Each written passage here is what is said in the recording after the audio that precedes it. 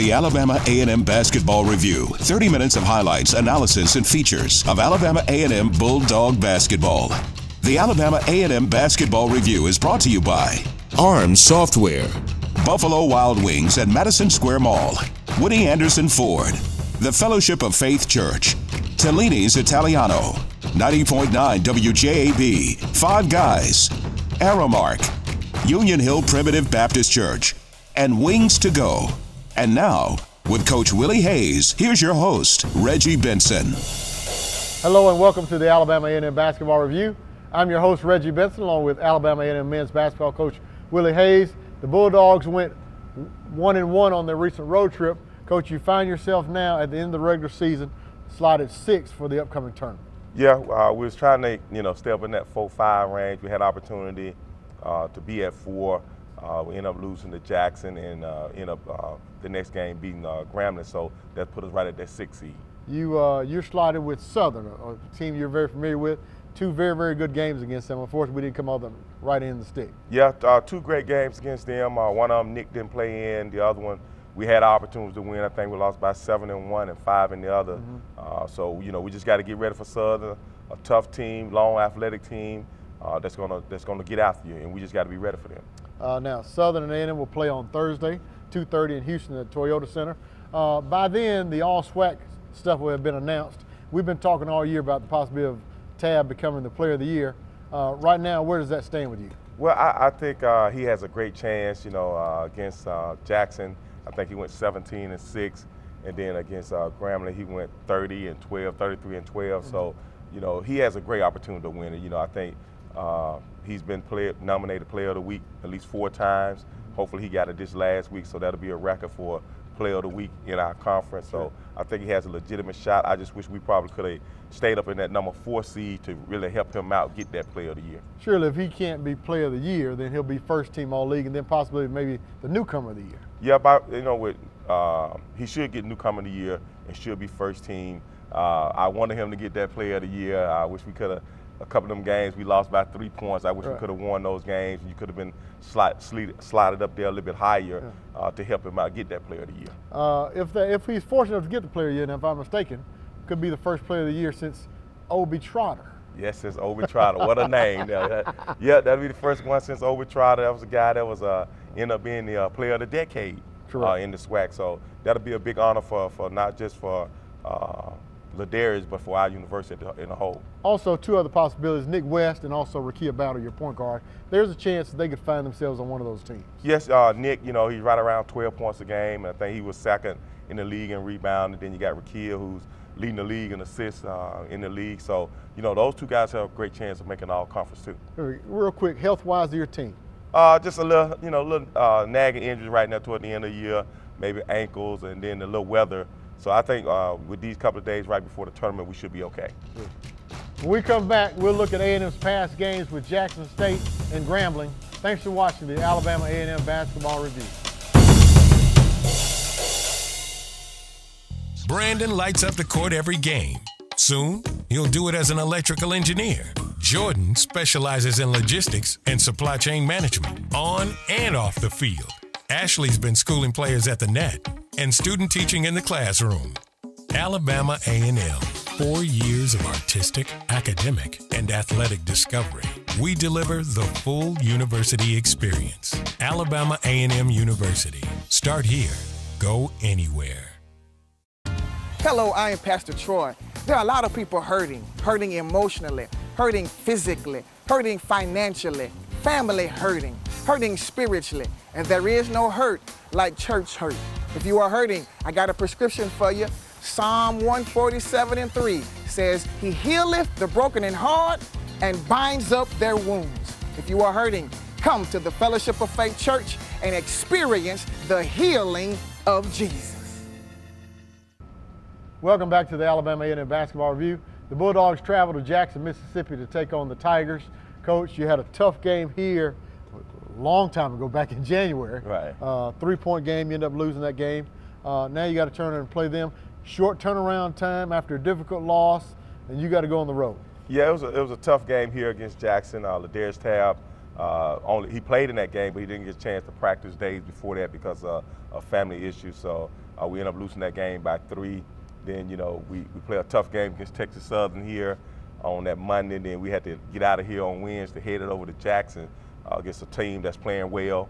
Uh, that we we just didn't come to play that game. Uh, there was a lot going on with that game. You didn't have much prep time to get ready for Jackson. Uh, we got there. Well, we had to stay here and practice because we couldn't get in their arena to practice. We didn't get a chance to shoot around there, so we had to practice in their old volleyball gym. So it just, you know, from from from the beginning of that trip, it just something just went right about that trip there. Give me an idea now. Look, the last two home games you had, you're within a shot. You got a shot to beat Prairie View. You got a shot right there at the end to beat Texas Southern. How much does that weigh on kids? Then you got a short turnaround time to go on the road uh, to play a team that's, that's playing well like Jackson. How much is that a factor? I, I, think it was a big factor because the guys they felt like they should have won those games. You know, uh, yeah, got a couple guys with their heads down because they know we let two teams get out of here that we should have won, that we should have beat, and then to get on the road to play against a Jackson team that you know we we, we can beat that we should have won, but we just did not come out the gate in that game. We, we came out flat. Uh, we wasn't letting them score at the beginning of the game, but also we weren't scoring. And you know, you missing when you miss a lot of easy shots and crib shots, then they come back and score on the other end. It hurts you. Yeah. And we never could get in a rhythm in that game for some reason. You know, not to make excuses for your guys because they knew what was on the line. They knew what you were trying to accomplish. They knew what was on the line. We just came out flat. And you know, anytime you you you know you call timeout and you're not talking about strategy, you're more talking about effort and energy.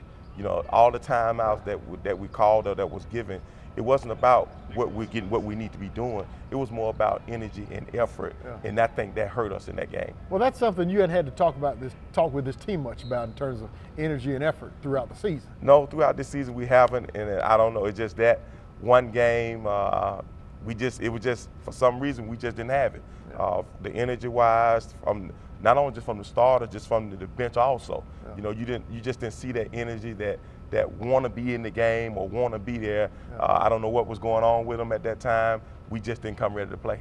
Yeah. Uh, any any signs prior to, during the warm-ups? I mean, during no. the pregame speech, anything? Well, you can kind of see that the, the, you know that we had to stay here and practice.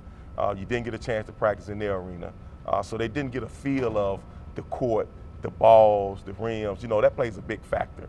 Yeah. And then to get up the next day thinking you're going to get a chance to go in the arena and shoot, and they tell you going in the Walter Payton Arena uh, facility to practice, then you don't get a chance to go in there. Yeah. You had to go to their old volleyball gym, which is uh, something like our old gym up on campus. Right. So it was just it was just all off the whole the whole day uh, from from that Wednesday on through uh, to that game. Yeah, yeah, tough situation, but you know, look, you got to deal with it and you got to find a way. You got to deal with it. You got to play. The game of basketball is played between those lines, mm. not on the outside of it. Even though with the situation, we still should have got up and been ready to play for that game, but we just wasn't ready. Yeah. Uh, look, you look at that 29%. You know, you, I don't, you, you guys hadn't shot 29% all year long. Yeah, that, that was so ironic about that game. You know, like you said, once from the beginning of that Wednesday, it just seemed like nothing was going right. Uh, we couldn't make layups. We couldn't hold the ball. It looked like we was running in mud. Yeah. They were moving, we wasn't. Uh, so it was just one of them games. And like I said, you know, you spend majority of your time out sitting over there trying to get guys' energy and effort going. Yeah, yeah. Uh, 13 points for you know Tab and West. Really, not a whole lot from many other people. Not a lot from anyone else. You know, uh, Tab didn't shoot well. He played hard, but just didn't shoot the ball well. Uh, yeah. Nick um, missed a lot of easy crib shots. Uh, Justin started out well, and we just didn't have any help from anyone else. Yeah. It was just one of them games where no one else really took on the burden of saying, okay, I'm gonna step out. If those guys are struggling, I'm gonna step up. And normally uh, this year here, we had guys stepping up, but yeah. in this game here, we just didn't get that. How difficult is that for you as a coach and your staff? It's got to be. It's it's, you know. it's difficult because you're, you're looking at the guys out there, then you're looking on the sideline trying to see who can give you that spark. Uh, I think we played everybody that game to try to get us a spark. Uh, we got it down to where we wanted it. I think at five minutes we was only down eight points or ten points.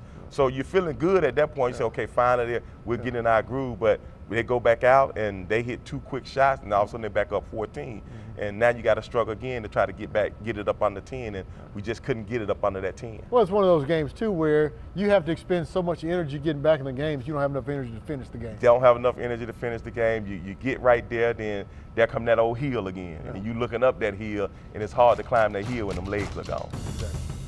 When we come back, we'll look at A&M's game against Grambling. Thanks for watching the Alabama A&M Basketball Review. Ninety point nine WJAB FM Huntsville. 100,000 watts, 24 hours a day. Smooth jazz and cool vocals. And the home of mellow madness till midnight.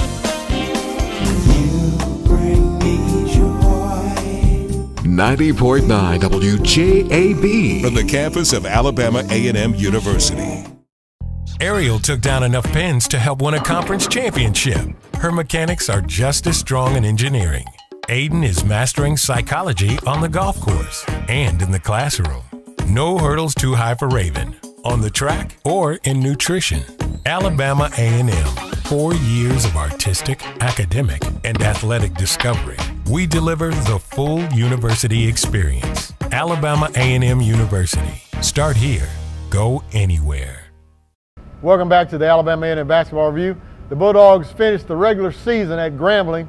Coach, Grambling's a team that had not won a conference game, and certainly we didn't want them to get well against us. Yeah, you definitely didn't want that to happen because that's one of them games where that would have been all over ESPN. Yeah. Uh, Grambling's playing well though. They they played a lot of teams tough this year. Uh, they just can't get over that hump. You know, they played Texas Southern the five, they played Southern the two, they played Bama State the uh, ten. So they've been playing well, and you know, I, I, looked at that game and I said, now we we got to go ahead and play after our game against Jackson the way we played. But I knew our guys would bounce back, and that's been the story of this team all year. Uh, if we have a game where we struggle like that, they normally bounce back well, and we was able to bounce back in this game here. Uh, but it is a scary kind of game for a coach. It's, a, it's, a, it's a scary game going into the, the last regular game of the season because everybody thinking the same way. You want to win that last game going into the tournament. Mm-hmm. So everybody's fighting for that. And, and, you know, for us, you know, you're on the road. It's senior night for them. I knew Shine was going to come out looking to shoot, and exactly what he did. He came out looking to put the ball in the basket. But you guys get off to a great start. But as we've done in the past, we kind of let teams get back in games. Got off to a good start. Uh, some of them got off to a good start, put it like that. Uh, Nick struggled early in this game. Uh, Ladarius came out playing well. Mm-hmm. Uh, the big fella Isaiah Cotton put, gave us some good minutes. I think he ended up with nine rebounds. Uh, uh, then Rakia, I think he ended up with six assists. Mm-hmm. Uh, as the game went on, we started trying to, you know, I think within the half it was 29, 25, was up right. five, mm-hmm. was up four. And I, you know, the thing with this team here coming out of halftime, yeah. you know, that's the most scariest part of a game is coming mm-hmm. out of halftime because yeah. you don't want teams to make runs. And uh, we came out, we made runs. Both teams made runs. It was it was basket for basket. There was no lead change. It stayed at that five or six points for a while, uh-huh. and then we was able to pull away and get get a 12 point lead. But here we go again. Yeah. We get that lead and we get comfortable, and then we let teams right back in the game. Well, Tav has a big dunk, push you up 10 with about three minutes and change left. Right. And like I said, you, you let them creep back in and, and make it a game late. You know, it, it's so funny that uh, you, we started rolling at the, when, when, we went up 10. It was like we was finna just go ahead and pull away. And uh, had a, a, set play, ran it way off a Tab, and he dropped it off to Nick. Wide open dunk, dunked it, but it bounced out. Oh wow! Now it pops out. They go down and hit a 3 mm-hmm. and just for like that, from a ten point game, all of a sudden it's a seven point game, yeah. and they got momentum. Now they come back down. Mm-hmm. We turn the ball over. They score again. It's a five point game, yeah. and that's just how quickly the game could change sure. just off a missed basket or a turnover. That's how crucial uh, that ball is to you. Is it is it just simply a matter of focus? Sometimes you think. Uh, I think it's focus, and I think that last night was just the opportunity of. Uh, Nick trying to trying to throw it down a little too hard, yeah. and it bounced out on him. But yeah. mainly it's the focus part. You know, staying focused for 40 minutes of basketball or however long it takes, because you may have to go in overtime. Right. And we just got to keep that focus when we're playing. When you look at the season, you, I think you hit on it. The fact is, staying focused, staying in the moment, mm-hmm. understanding time, score, situation in games. That that's the thing. You know, we we had a lot of games where we was up maybe eight or ten points and we let teams back in or we'll let teams make runs. And that's something that you can't do because it's one and done now, right. uh, especially going up and getting ready to go up against Southern, a team that's known for making runs. Right. And we can't allow Southern to make runs on us. Uh, the Grambling game now, you know, we're trying to build some momentum, trying to improve our seeding. What do you think the Grambling game is going to do for us going into the tournament? I mean, just being on the road. Uh, your tournament's played on the road learning how to play against teams on the road. Uh, they threw a lot of stuff at us. Uh, he played zone, he played some man, he pressed a little bit. So we got an opportunity to see three different types of defense. And I think we handled it uh, pretty well. We didn't turn the ball over much last night. Uh, our guys stayed in attack mode.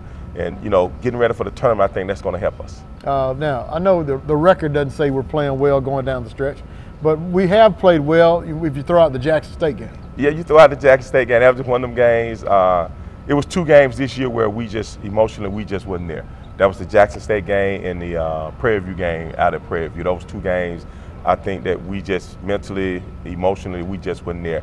All the other games you look at, you lose by two or three points. You lose to Southern by five and seven. Everybody else, you lose by three points or less. Yeah. So those were probably the two games that we lost focus in emotionally. We just wasn't there for those two games. When you look at your team and you look at how your your, your playing situation is, you feel good about going into the tournament. I feel good going uh, in this tournament. Uh, Southern, like I said, Southern's going to be a, it's a tough draw for us. Uh, they're long, they're lanky. Uh, they got some experience. They got guys that transfer from Texas A&M, uh, one from Houston. I mean, not from Houston, but from uh, Florida State. Mm-hmm. So they got some experience. They got some some guys on this team. Uh, the Adrian uh, Rogers kid that can really put the ball in the basket, and also the coach's son, uh, Banks. So we got our hands full. I, I, think the guys are up for the task. I mentioned it to them the, last night that we just got to be ready to play against Southern. But now, look, your team, even though it's a young team, no seniors, your team, you guys have had a long time to kind of get ready, uh, play against different uh, defenses, offenses, that kind of thing. You got to be pretty excited about uh, what can happen if you can kind of get on a little run. I, am excited about this, and even when we got back, and you know, I kind of knew who we was going to be matched up with, and I let the guys know who was going to be matched up with, who was going to be playing, and I saw a little smirk on their face. So I, I think a couple of them kind of want to get back at Southern themselves because they know that both times we let them get away from us on close games. So, uh, you know, seeing that little smirk on a couple of them face kind of got me a little excited. So I, I, feel good about going into this game. Sure. When we come back, we'll preview A&M's SWAC conference opener against uh, Southern. Thanks for watching the Alabama A&M Basketball Review. Brandon lights up the court every game. Soon, he'll do it as an electrical engineer. Jordan specializes in logistics and supply chain management on and off the field. Ashley's been schooling players at the net and student teaching in the classroom. Alabama A&M. 4 years of artistic, academic, and athletic discovery. We deliver the full university experience. Alabama A&M University. Start here. Go anywhere.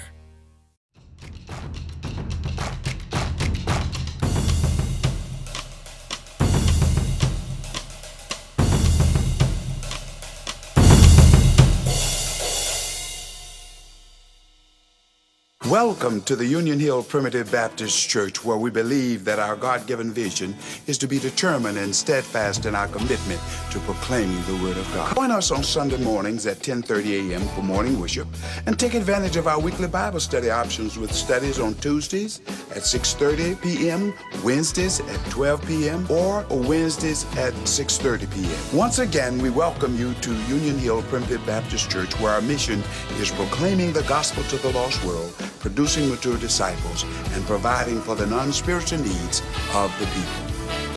Welcome back to the Alabama A&M Basketball Review.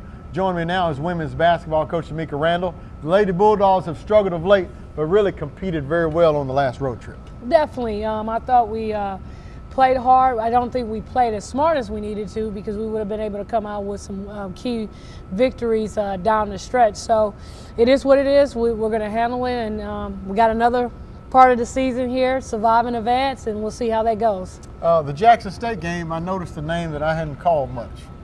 Uh, Sutton ended up leading you in scoring. Am I correct? Yes, she did. She came off the bench and uh, provided a spark because we just didn't really get anything that much from um, our, our, our, vets out there or the kids that played a significant minute. So it was good to see her come off the bench, shoot the basketball well, and uh, really created a spark for us going into halftime. And I was just so hoping that it would carry over into the second half. And unfortunately, it was just really a roller coaster for us. Well, you ended up leading at halftime, but then you give up 39 points in the second half, and that's why you ended up losing the game. Just uh, um, just bad turnovers um, from again from our point guard Brittany to Janie Miles on down to Al Janice. Just the players that play significant minutes not valuing the basketball, and um, uh, it was a tough pill for them to swallow right there. And uh, we were hoping that when we can, when we moved into Grambling, we'll be able to go out and fix those things.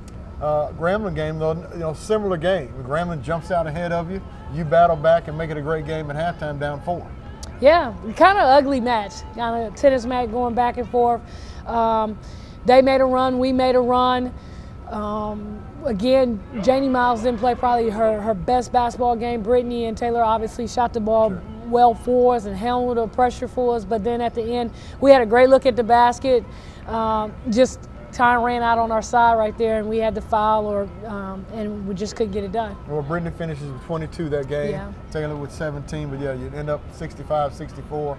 Uh, look, everybody wants to win, but the, have, the fact that you played better over those last two games as opposed to what you played those previous five, what does that do for you going into the tournament? It gives you a little sense of hope. Um, if we're mature enough to really understand what, you know, going into this this third part of your season, understanding that all it takes, again, very similar to the Graham uh, game, one point and you win the basketball game and you move forward. So hopefully uh, this day off uh, will get us refocused and re-energized to get ready for Valley.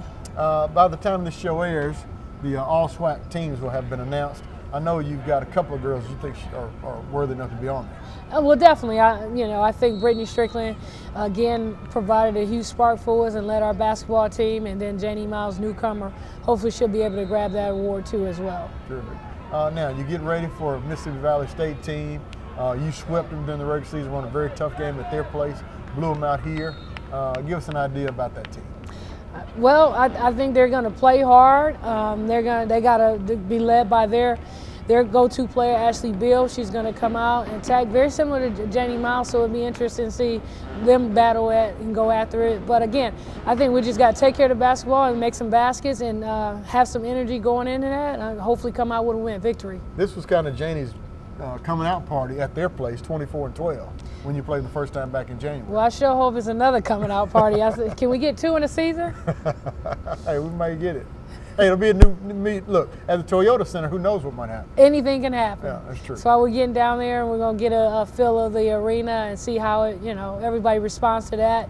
They get that odd, that odd factor out of them, and then just get ready to play. So you're gonna uh, you're gonna fly like the men's team, gonna fly down and, and have a practice time, I guess, on, on Monday by the time this airs, you'll, you'll have played by then, but you'll have a practice time uh, in the arena and get ready for Tuesday's game. Get ready for a battle. Uh, anything that concerns you uh, as you move forward about this team now? Because look, if you get a chance to beat Va- Valley, then you'll get either what Texas Southern, perhaps, or Southern. Texas Southern. Texas we'll Southern, okay. end up getting them. Uh, the the biggest thing with the, with the Valley, don't look ahead. Just stay in the moment uh, and play hard as you can and as smart as you can for 40 minutes.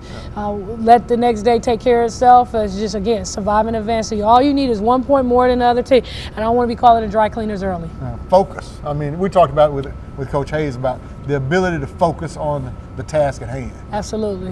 Yeah. New season. Yeah. Coach, good luck. Thank you. Thanks for watching the Alabama A&M Basketball Review. When we come back, we'll be rejoined by Coach Hayes. Ariel took down enough pins to help win a conference championship. Her mechanics are just as strong in engineering. Aiden is mastering psychology on the golf course and in the classroom. No hurdles too high for Raven, on the track or in nutrition. Alabama A&M, four years of artistic, academic, and athletic discovery. We deliver the full university experience. Alabama A&M University. Start here. Go anywhere. 90.9 WJAB FM Huntsville. 100,000 watts, 24 hours a day. Smooth jazz and cool vocals. And the home of mellow madness till midnight.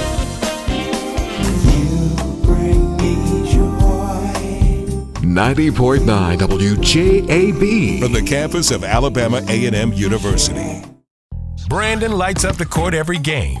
Soon, he'll do it as an electrical engineer. Jordan specializes in logistics and supply chain management on and off the field. Ashley's been schooling players at the net and student teaching in the classroom. Alabama A&M, 4 years of artistic, academic, and athletic discovery. We deliver the full university experience. Alabama A&M University. Start here. Go anywhere. Welcome back to the Alabama A&M Basketball Review. The Bulldogs will take on Southern in the Southwest Athletic Conference tournament on Thursday at 2:30. Coach, you're the sixth seed. Southern's the three seed. Two really good games. You lost by seven here, lost by five at their place. Hopefully, the third time will be the charm. Well, we hope the third, the third time will be a charm, but we got to play. We got to play 40 minutes of basketball. Um, each time uh, against uh, Southern, we allowed them to make runs. You can't allow a team like that to make runs. Or if they do make runs, you got to make a run better or equal to what they do. And Southern is known for making runs coming out of halftime, and that's how they got us at that place. They made a, uh, they went on a 10-0 run coming out of halftime. We've talked about their length. I mean, you know, we talk about Nick and being one of the more versatile players in the league. Uh, they've got two or three guys, that, and, and then you know they, they put them on Nick, they'll put them on Tab, and Right. give them problems. Well, that's that's the thing with Southern. They're so long and uh, lanky and athletic. Uh, you know, they they can change. They got guys that are interchangeable that they can send at Nick in at uh, Ladarius. So we got to find some other guys, Mike Hutchinson, uh, Adrian Edwards. Those guys got to step up and give us some good minutes, like they've been doing all year. But this is time now. It's you know, like the old saying, you know, it's one and done now. So ain't no holding back, ain't no injuries or nothing like that. You got to give us all you got, unless you're going home. So when your team, uh, when either team goes to the bench, your team needs to win when the reserves are in for them and your reserves in. That's going to be the key right there. Our bench got to give us a lot uh, because if you look at the two games we played against Texas Southern, I mean against Southern, their bench outscored ours, and that's where he's coming off with two other guys that can get him some points, and then also the Trey Lynch kid. Uh, he's the, the sixth man, probably he will be the sixth man of the year because he's averaging about 10 points a game. He, he's their little energizer bunny that comes off the bench, and his game, his thing is to come in and score, and that's what he do, and we got to be conscious of that. Uh, I understand the last time we talked, you guys were busing Uh-huh. to Houston. I understand there's been a change. There's been a change. We're gonna we're gonna fly out of here uh, on Tuesday. Uh, we play Thursday, so we'll get out of here. Give us time to get there, get our legs up on us, get a little practice in. So hopefully uh, that that that flying may help us out and have our legs up on us. Uh, look, I know you're the sixth seed, but coach, right now you're probably one of the most dangerous teams in the league, even though the record doesn't indicate it. Yeah, the record don't indicate it, but uh, you know a lot of teams right now they don't want to play us. You know that's that's good for us, but we got to go in there with that mentality, knowing that teams don't want to play us and go in and really go at them. Confidence wise, I mean, you got to win against Grambling. I know they, they don't have a great record, but you got to have a little momentum going in now. anytime you can win going into the tournament. I don't care who is against, just to, for your guys can your people can feel like you know they got something co- accomplished on that last game. Because any team or, or most teams they want to win going into a tournament just to give you that momentum. Sure. Coach, now, 10 years ago, A&M was ended up winning the SWAC tournament championship, first time in school history. Can we years. duplicate that now? It's about that time, Reggie. you brought it up right at 10 years, so it's, it's the anniversary time. So this should be the, the time we had that uh, another championship come to uh, Alabama A&M. Coach, good luck. Thank you, Reggie. On behalf of Willie Hayes and Semeka Randall, I'm Reggie Benson. Thanks for joining us on the Alabama A&M Basketball Review.